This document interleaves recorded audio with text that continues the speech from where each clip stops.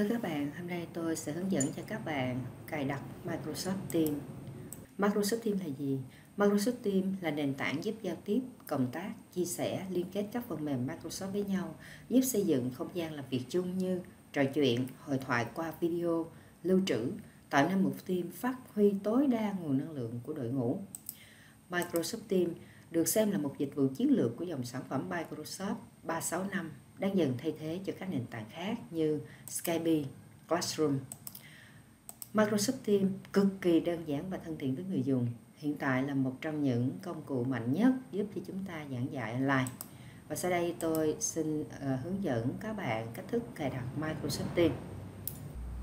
Đầu tiên, để cài đặt Microsoft Teams, các bạn vào Google Chrome, các bạn nhập vô Microsoft Teams các bạn vào trang web của Microsoft.com các bạn nhìn thấy tải xuống Teams. Các bạn chọn tải xuống cho máy tính. Và các bạn tiếp tục chọn tải xuống Teams.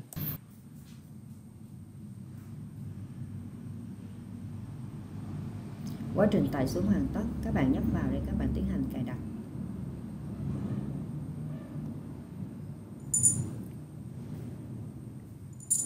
Và chúng ta đã cài đặt xong các bạn đăng nhập vào bằng tài khoản HCM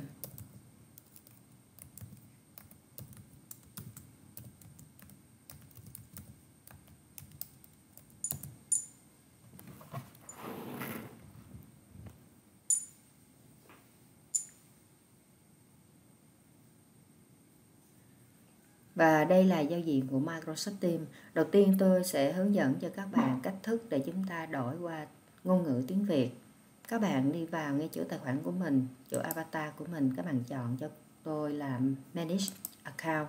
Rồi chúng ta chọn general và chúng ta xuống đây chúng ta chọn app uh, language là tiếng Việt. Lưu rồi khởi động lại. Các bạn để nó tự động nó khởi động lại cho mình.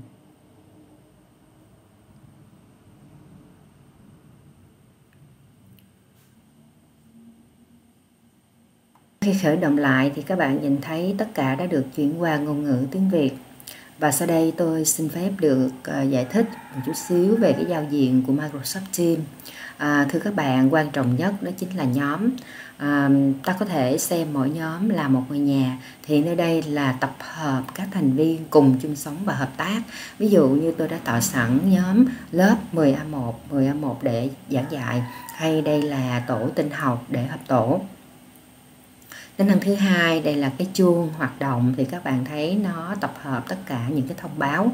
À, có thông báo mới thì nó sẽ hiển thị ở đây cho chúng ta xem giống như là cái chuông bên Facebook. À, đây là tính năng trò chuyện. Thì tính năng này à, trên Microsoft Teams dùng để à, tin nhắn nhắn tin riêng tư với nhau à, riêng tư với một người nào đó trong ngôi nhà chung của mình. À, đây là bài tập để đặt bài tập cho học sinh. À, đây là chúng ta sẽ lên lịch lễ à, cho một cái buổi họp nào đó cho một cái buổi học. Ờ, ví dụ như giống như là chúng ta lên lịch trong LMS à, đây là tính năng cuộc gọi để gọi điện riêng tư cho một người nào đó trực tuyến trong ngôi nhà chung của mình giống như chức năng gọi của Messenger. Tệp đó là phần mà chúng ta sẽ hiển thị tất cả các cái tệp à, mà chúng ta đã chia sẻ trong Microsoft Teams à, đặc biệt các bạn nhìn thấy ở dưới này có ứng dụng. À, phần ứng dụng thì chúng ta quan sát ở đây có rất nhiều những cái ứng dụng của Microsoft được liên kết với nhau. Thưa các bạn à, trên đây là một số những cái giới thiệu sơ lược về Microsoft Teams cùng với cách cài đặt Microsoft Teams trên trên máy tính. À, hy vọng à, bước đầu nó sẽ giúp ích cho các bạn tiếp cận à, để dần nghiên cứu làm việc và giảng dạy được tốt. À, cảm ơn các bạn. Xin chào tạm biệt.